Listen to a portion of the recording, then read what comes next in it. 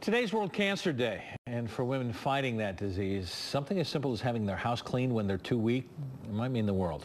An organization called Cleaning for a Reason does just that. Local 12's Megan Moore shares the story of one of its clients.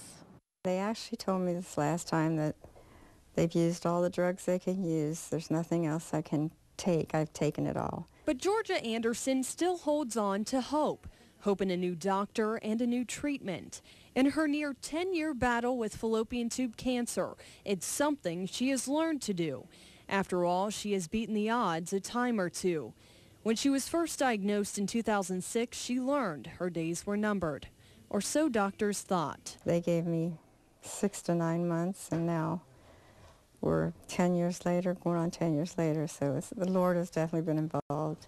This past Christmas, another number reared its ugly head. 10 days. In 10 days, so we'll see. That's kind of our thing is to keep living with it and not letting it get the best of you. Georgia says she has learned how precious time is. Her family, too. Hi. Good, how are you? That's part of the reason her daughter Emily reached out to Cleaning for a Reason. Not just for help to keep the house tidy, but also so their time can be better spent with each other.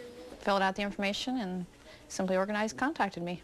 Simply Organized, based out of Loveland, partners with Cleaning for a Reason to offer four free house cleanings for women battling cancer. And these days, it's something that sure means a lot to Georgia. I'm not bedfast, but there's not much I can do because I lose my air. Whether it's trying to get an entire house clean done in the two hours or if they want us to clean out their refrigerator or whatever it might be. You know, we pretty much do what they want us to do. Though in these cases the help is free of charge, it doesn't mean these ladies go home empty-handed. It makes your heart feel full and, um, you know, we, we love doing it. Um, there are other cleaning services in the area that partner with this nonprofit organization. If you would like more information about Cleaning for a Reason, you can find a link under the news tab at local12.com.